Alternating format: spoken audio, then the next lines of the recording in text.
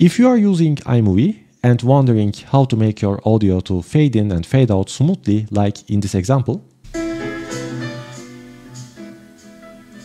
then after watching this video, you will be able to do that.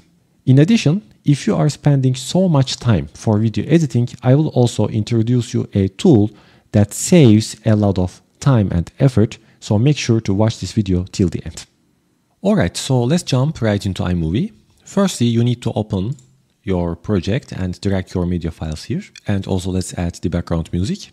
So if the audio is longer than your clip, then you can reduce the length by either by dragging the end or the beginning of this audio file like this, or you can simply select the audio file and press on Command B on your keyboard to cut the file so you can remove it later.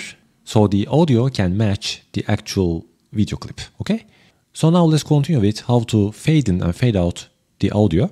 Currently when we play the clip, the audio starts a bit late and when we end it, there is no fade and it doesn't sound professional. So firstly, let's get rid of this part by dragging it to the beginning here. So the music can begin immediately when the video starts and we can also drag it further down here. So in iMovie, there are two ways to create a fade effect. And the first one is we can manually adjust the audio levels. Let's select the last couple of seconds of the audio clip like this. And from here, I would like to reduce the audio level. It's currently 100% and let's reduce it to, let's say to 40%. And for the last couple of seconds, let's reduce it to, let's say to 16%, okay? So when I play it one more time. Now we hear that the audio level has dropped. And there is also a second way to fade out the music, which is a feature of iMovie.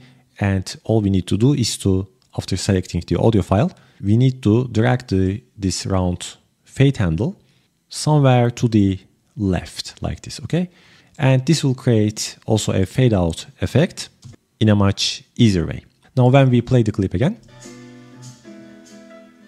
we see that the sound is much smoother. And you can also do the same thing for fade-in effect as well.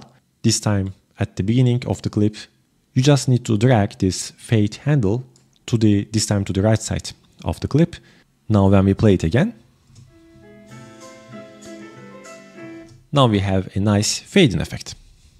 So video editing is one of the most time consuming things, especially if you are a content creator or a video editor. That's why I am using this AI tool while editing my videos, which reduces hours of work and effort significantly. You don't need any technical background, you just upload your raw footage and it does the rest of the editing for you within a couple of minutes. So if you want to learn more about this tool, then make sure to check out the next video. Also, please hit the like button if you find this video helpful. Thank you for watching and see you guys in the next one.